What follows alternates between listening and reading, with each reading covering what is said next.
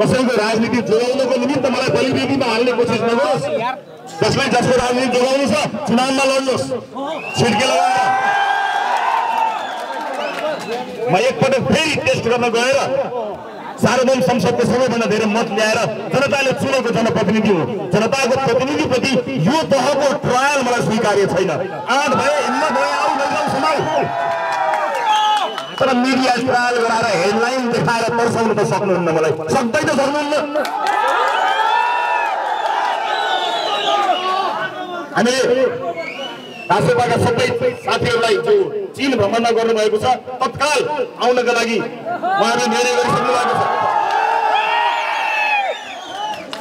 आम सर्वसाधारण दाजुभाइ दिदीबहिनीहरूलाई यो तहको षड्यन्त्रका विरुद्ध. जुनसुकै तहमा जान परे पनि न्यायका लागि सत्यका लागि तयार रहनको निमित्त म यहीँबाट अपिल गर्न चाहन्छु मेरो लागि होइन।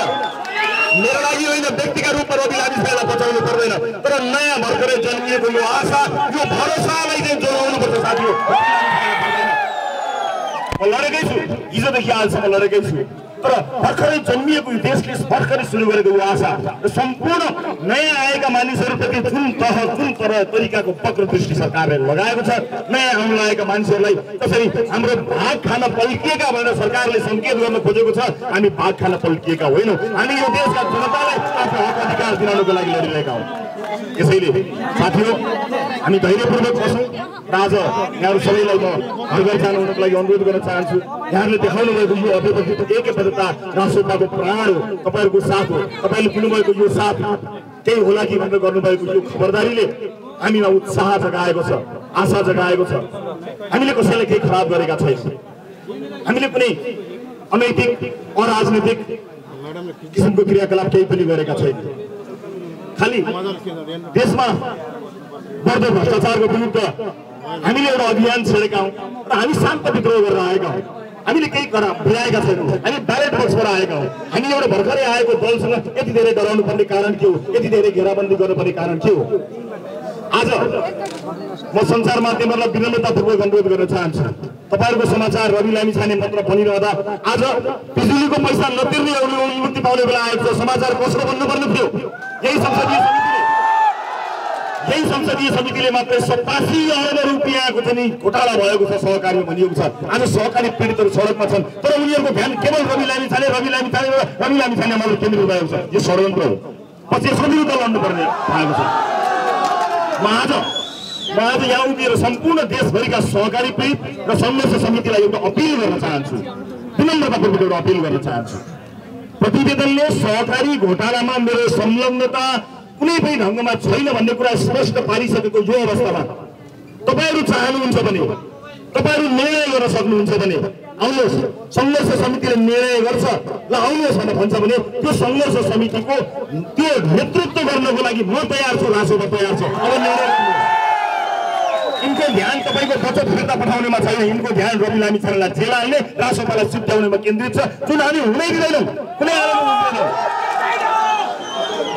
होला। एउटा रवि लामी छानेले पहल गरे होला। तर आज एउटा व्यक्तिमा सीमित छैन रासोपा रासोपा एउटा अभियान बनेको छ। हुनार एक सय एक नेताहरू यसमा लागिरहनु भएको छ।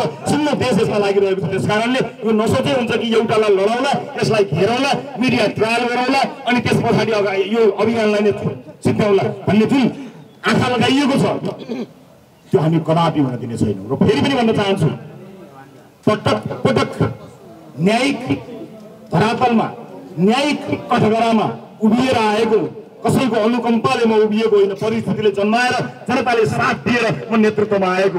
केही वर्ष अगाडि सरकारले यस्तै अन्याय गरेर मलाई न्युज मित्र बुट बजारेर मध्यरातमा लिएर गएको थियो मलाई याद छ त्यतिखेरदेखि अन्यायमा पारेको मलाई निरन्तरका रूपमा जसरी खेदिएको छ यो सिङ्गो देशले हेरेको छ एउटा मान्छेलाई खेल्ने एउटा मान्छेलाई घेर्ने एउटा मान्छेलाई केन्द्रित बनाउने राज्यको सम्पूर्ण शक्ति दुरुपयोग गरेर एउटा मान्छेलाई जसरी पनि घेराबन्दीमा पार्ने जुन प्रयास भएको छ मैले पहिला पनि भनेको थिएँ। म अभिमन्यु होइन मलाई यो चक्रव्यूहबाट निस्कन आउँछ म अभिमन्यु होइन। उपस्थित दाजुभाइ दिदीबहिनीहरू फेरि पनि यहाँहरूलाई यो उपस्थितिको लागि धेरै धेरै धन्यवाद दिन चाहन्छु। मलाई भरोसा छैन सरकारले जे पनि गर्न सक्छ। यो सरकार दुई तिहाईको छ। यसले आफ्ना प्राथमिकताहरू के छुट्याउनु पर्ने थियो? दुई तिहाईको सरकार हुने बेला दिनभित्र सहकारी पीडितलाई न्याय दिनुपर्ने थियो नि किनकि त्यसका लागि यो बनाएको होइन यो त षड्यन्त्र गर्ने विरोधीहरूलाई यसै गरी धरपकड गर्ने कोसिस गर्ने नयाँ आएकाहरूलाई भाग खान आएका भनेर कटाक्षी गर्ने र नयाँको विरोध गरेर बस्ने अनि आफ्नो वर्चस्व कायम गर्ने उद्देश्यले आएको प्रष्ट देखिन्छ त्यसैले यही तरिकाले यस्तै गलत तरिकाले यस्तै किसिमको षड्यन्त्रको जाल बुन्दै जाने हो भने हामी सबै सचेत हुनुपर्नेछ सम्पूर्ण नयाँ अभियन्ता राजनीतिक दल र देशमा केही गर्छु भनेर आफ्नो सम्पूर्ण कुरा छोडेर लागेका सम्पूर्ण साथीहरूलाई म अपिल गर्न चाहन्छु आउनुहोस् एक ठाउँमा उभियौँ र यो अधिनायकवादी चरित्र विरुद्ध। सँगै लडौँ। एक ठाउँमा उभियौँ। एक पटक सबै साथीहरू एक ठाउँमा उभिए भने षड्यन्त्रकारीहरूको पत्ता साफ हुन्छ म आज यो कुरा ग्यारेन्टीका साथ भन्न चाहन्छु यो काम गर्नका लागि सम्पूर्ण नयाँ शक्तिहरू एक ठाउँमा उभिनका लागि कसैले त्याग गर्नुपर्छ भने सबभन्दा ठुलो त्याग म गर्नेछु म तयार छु त्यो त्याग गर्नको लागि एक ठाउँमा। यति भन्न चाहन्छु फेरि पनि यहाँहरूको उपस्थितिको लागि धेरै धेरै धेरै धेरै धन्यवाद दिन चाहन्छु फेरि पनि सम्- सम्पूर्ण सम्पूर्ण संसार मित्रकर्मी मित्रहरूलाई अनुरोध गर्न चाहन्छु कि तपाईँहरूको ध्यान सहकारी पीडितको पैसा फिर्ता गर्नमा जाओस् सहकारी पीडित सङ्घर्ष समितिले चाहन्छ सङ्घर्षको नेतृत्व गर्न हामी तयार छौँ म तयार छु। म यो अपिल फेरि पनि गर्न चाहन्छु। यहाँहरूको माया ऐक्यबद्धका लागि धेरै धेरै धन्यवाद। ढुक्क भएर बस्ने अवस्था छैन। म तपाईँलाई एउटा कुरा बताउँछु। म व्यक्तिगत रूपमा आफ्नो लाभका लागि तपाईँहरूको समर्थनको दुरुपयोग गर्दिनँ साथी म व्यक्तिगत रूपमा आफ्नो लाभका लागि तपाईँको साथ समर्थनको दुरुपयोग कदापि गर्ने छैन। तर अन्याय गरेछन् भने एउटा आवाज दिनेछु।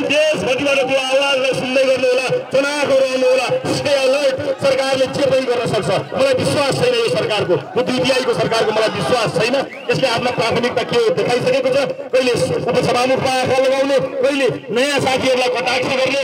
अनि कसैलाई चाहिँ नाराबाजी गरेको घरमा घरमा खुल्ने आरोप लगाउने र अहिले यस किसिमको क्रियाकलाप गर्ने जुन तरिका भएको छ यसलाई नजिकबाट हेर्नु होला अनि तयार भएर रहनु होला। फेरि पनि भन्छु म मेरो व्यक्तिगत लाभका लागि तपाईँको साथ समर्थनको दुरुपयोग कदापि गर्ने छैन तर सरकारले अन्याय गर्यो भने एउटा आवाज म पक्कै पनि दिनेछु देशभरका सम्पूर्ण न्यायप्रेमी दाजुभाइ दिदीबहिनीहरू र राष्ट्रपा परिवारका साथीहरूलाई अलर्टमा रहनको लागि। एकदमै स्ट्यान्ड बाई रहनको निमित्त म हार्दिकताका साथ अनुरोध गर्न चाहन्छु र आफ्नो भनाइ यही टुङ्गाउँछु यहाँहरू सबैको होस् यहाँहरू सबैलाई माया र विश्वासको लागि धेरै धेरै धन्यवाद। हस् धेरै धेरै धन्यवाद। नमस्कार। साथीहरू